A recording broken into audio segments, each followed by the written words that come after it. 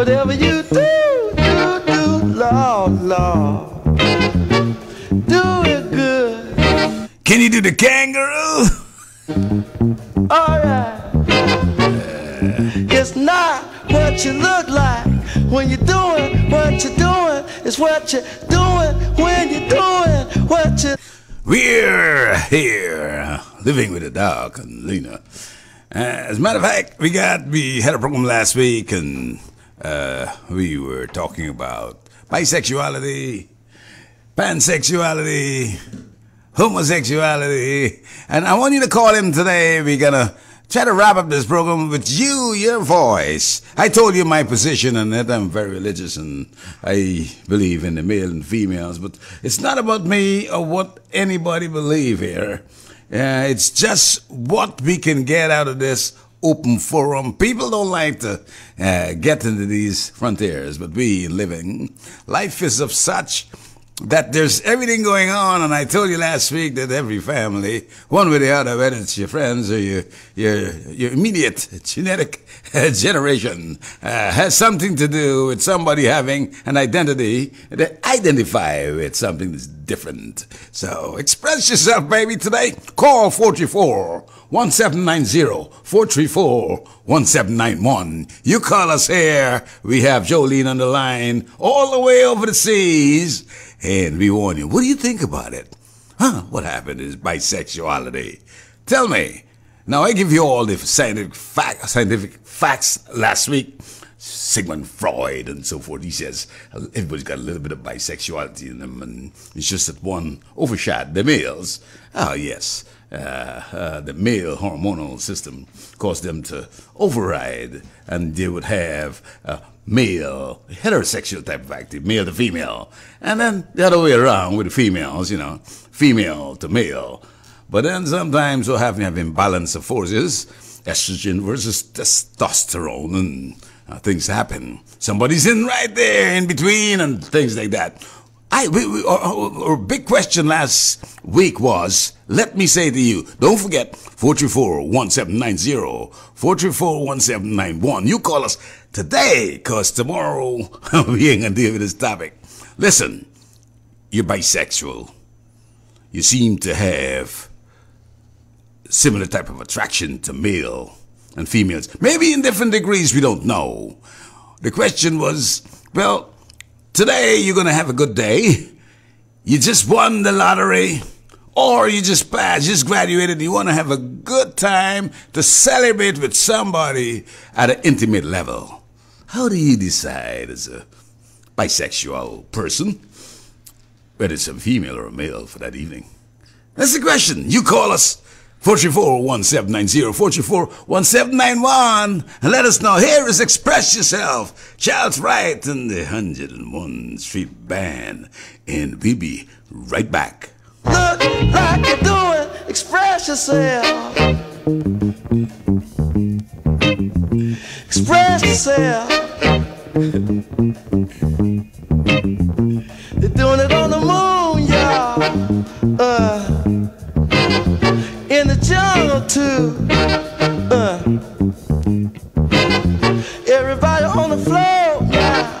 Uh,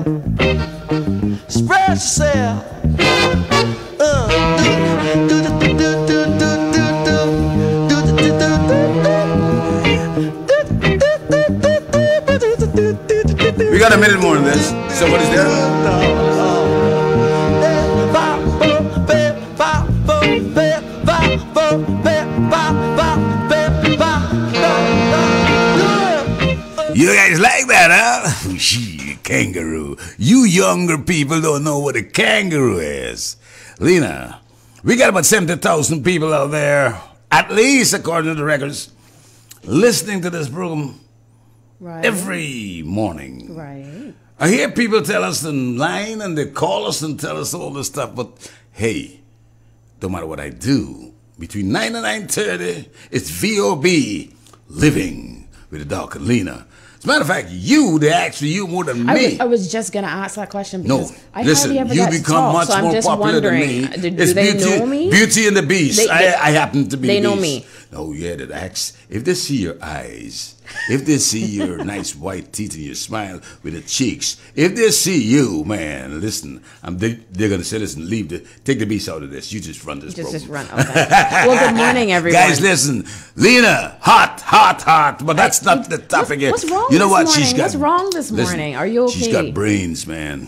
Yeah. I don't know. I'm getting IQ of compliments. I'm so 144.345. That was the last IQ test she had done. now, listen, guys, don't forget. You co- no, you 70,000 people out there. I try to get a bisexual individual in here to sit down and talk and explain things. Just couldn't find nobody. If I was somebody, if it was somebody uh, oh, gay, they would come. But for some reason, bisexuality seems to be more a classic thing, right, Alina? Let's let's but, talk. But I actually want. That was one of the questions I kind of want to ask. Good morning, Jolene. Are you there? Good morning. How are you? Good morning. And good morning, Jolene. How was your week? Were you thinking about us this week after last week? Yeah, I was. I think that it was a really important conversation to have, and it's very rare. So I absolutely was thinking about that as I was going along with the million and one things I had to do. Yes, absolutely.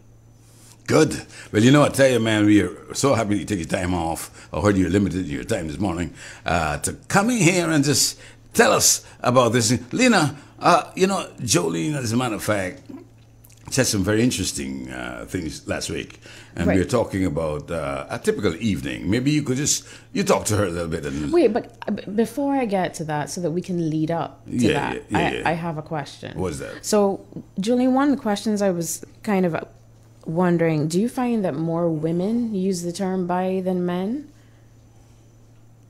Yes, Okay. I definitely do. Why do you think there's a difference? Do you find that for a man it's a bit more challenging to say that they're bi versus a woman? Well, yes, because for a man, it's very challenging to say he's gay, whereas for a woman, it's not. So it's it's the gay part of the bisexuality rather than the bisexuality itself, if that makes any sense. Okay.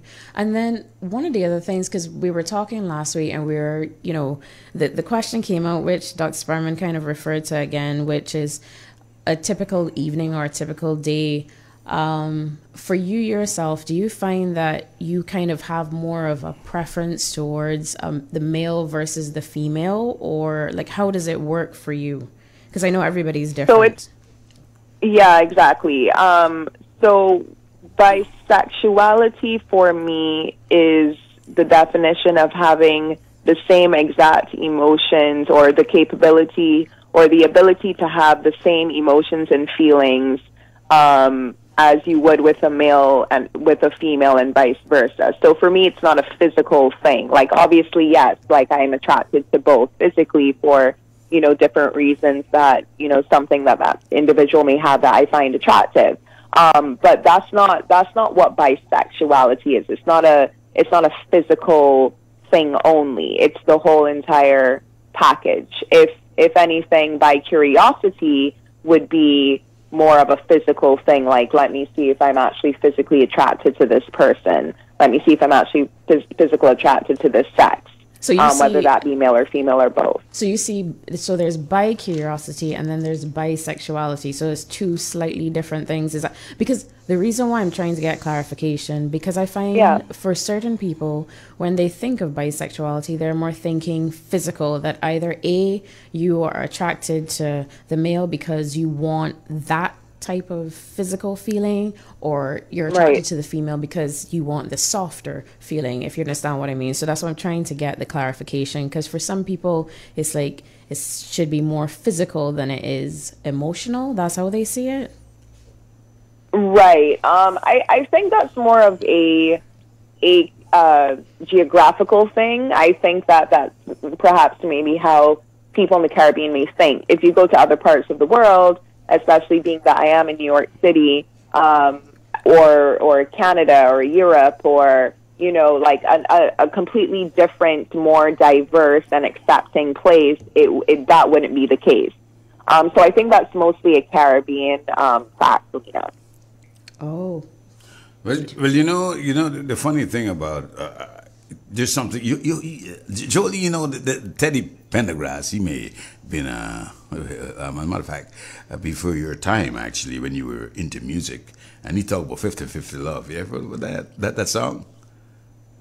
50-50 Love by Yeah. who? I'm sorry, I missed a Yeah, it's good loving somebody when By they Teddy love you. Pendergrass. He's Teddy trying to take you Oh back. yes, yes, yes. I actually have it on vinyl. That's funny. Yes, and yes, a very nice song. But the thing I'm saying, we talked about Sigmund Freud earlier, and we said that he, he, he doesn't seem to think that it's a 50-50 balance. There's like 70-30. What about 60-40? Because I think that a male has more to offer you, or no, I'm sorry, take that back. I roll back a little bit. A male has something different to offer to a female as opposed to female to female. It's a different type of interaction. We're talking about intimate levels. Isn't that true? Yeah, absolutely, a hundred percent. That's just how the the anatomy of the the the the psyche, the psychological aspect behind a man's mind and a woman's is entirely different. Absolutely, I agree with you a hundred percent. Sure, I'm just saying that being bisexual is is not. I think people get caught up with the sexual part of bisexual. Yeah. Um, or just sexuality in general. What is your sexuality? It, it becomes physical. It's not for me. Um, and it's not for a lot of people, which is why they just prefer to say, I am. Like, if they ask you, like, who you are, um, especially here in New York, a lot of people just say that I am. And that's it. And, and, and, and define that as how you, how you will. Because the whole idea is, is to have the freedom of identity. Um, that's a really big thing. You shouldn't have to label who you are. It's just a matter of who, how you feel about that person, whether that be a dog, a cat, a male or female. It doesn't matter. You you are obligated to feel the way that that you do, and you should be respected the same way that a man and a female, um, a male and a female are are together. That's how we were all raised. That a man and a female get married, and that's it. But that's just not the world that we live in today. You believe So that it's just a lack of education. you believe someone can be asexual. Absolutely, pansexual, asexual, um, uh, bisexual, transgender. It's it's all it's huge. You know what I'm saying? Like it's it's huge for a reason because everyone needs to feel that they belong on this planet. If if if that's not the case and they can't be themselves, then why are they here? Could someone So it's just about breaking the stigma. could someone uh, could two people whatever gender be together Right. and love each other without intimacy? Yeah, that's definitely very possible. Um, again, like for me, like emotions is a very broad. Um, I'm actually an emotional health advocate and activist. Um, so for me, emotional um, education or, or, or health or just the way that one thing, it is extremely possible to have a connection with someone, be in a relationship with them, and not be sexually attracted. I mean, that's not, that's definitely not something that I can explain to you in 30 minutes.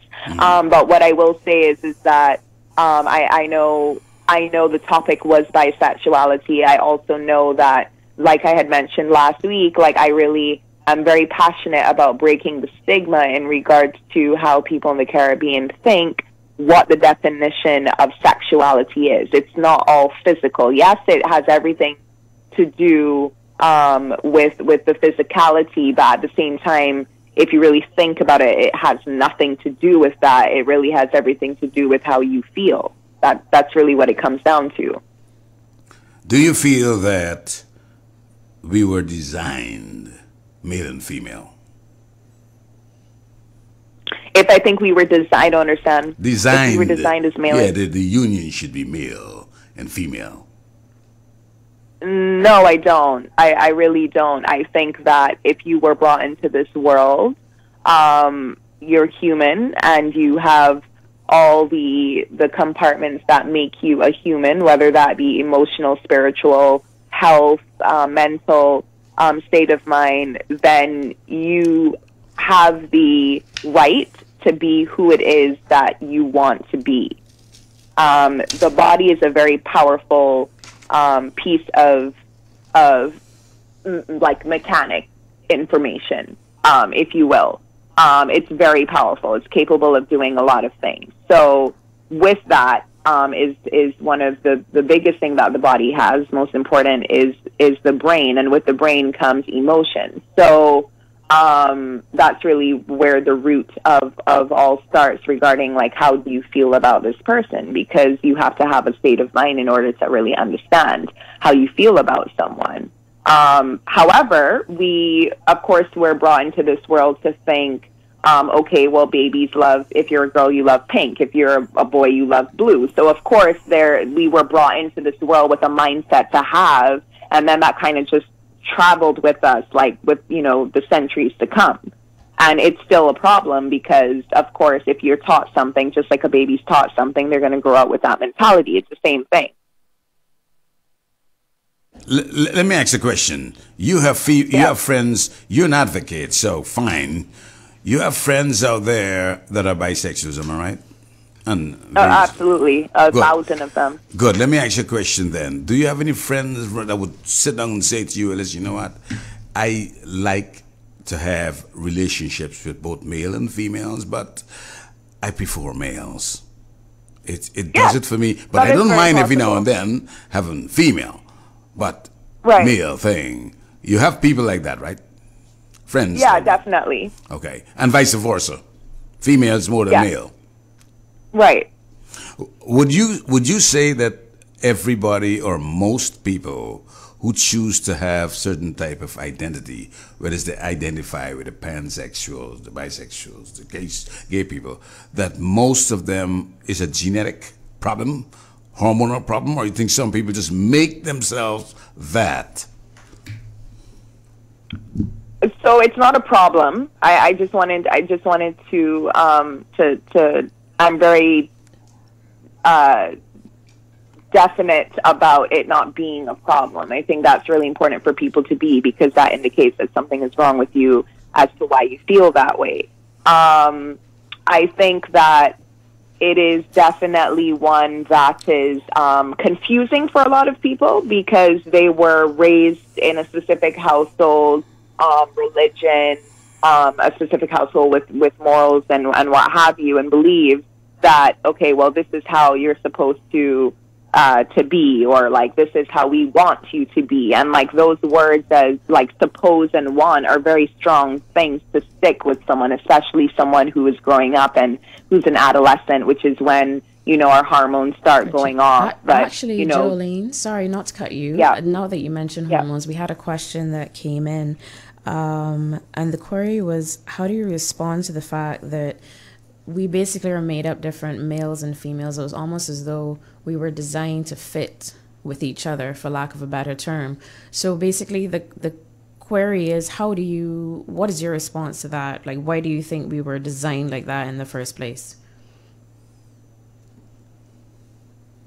I think again, it it all it all goes back to to many many many many years ago when you know someone wrote the law and it was that a man and a woman you know should get married and have this picket fence life and and and that's it. That's just one way. So again like that to my point about you know when when someone feels or a group of people feel very strongly about something and that travels like centuries and you know like years and years and years and decades and decades and decades of course, like one is going to think, all right, well then, if I feel a different way, then of course that's wrong, because that's just not how the book was written. Um, and and I think that's really what the problem is. And I think that we just live in a time now that you know music is a big influence, fashion is a big influence. Like people are really starting to express themselves, whether they're a plus size model, whether they're confused with their sexuality. It, it really doesn't matter. Um, but there there are influences out there, and and the entertainment industry is a big one.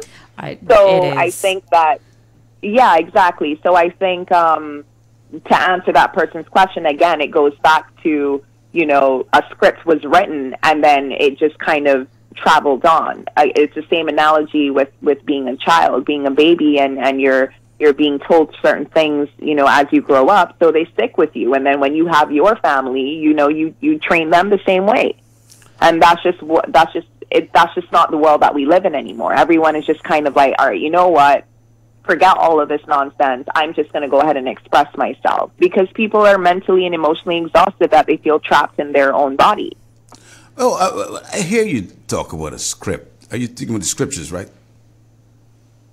Well i mean no i, I was more i wasn't talking about anything specific i was just being that I was something just was predestined or figuratively pre-written. Because Like you know, something- you know, right. you know, Jolene, anatomy. Now I come in from the scientific point of view.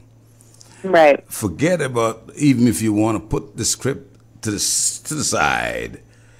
If you look at the anatomy of the body, it's male, female. That's designed for that.